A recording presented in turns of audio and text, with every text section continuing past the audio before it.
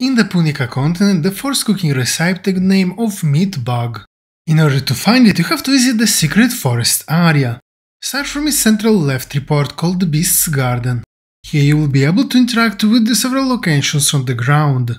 Usually you will receive only a message as a result, but there is a small probability to obtain the cooking recipe instead. The first spawn point is at the end of that report passage. Here you will be able to interact with the ground in front of the yellow plant. The second location is in the bottom left cavity of the central dark spot. Here you will find two palms. For the item you need, you will be able to interact with the right one. The third location you can check is in the top left corner of the dark spot. Here you will find a tropical bush. The location you need to interact with is slightly to the left from it. For the first spawn point you need to use the blue arrows on the right, and check immediately at the beginning of this passage. Here you will find a tree root sticking from the ground. Interact with the red plant at its feet for the cooking recipe.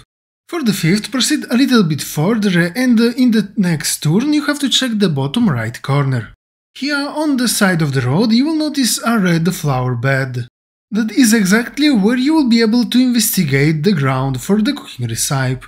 Now that you know all the spawn points, once you will obtain the cooking ingredient, you have to use it in order to unlock the Adventurer's Tome objective you came for.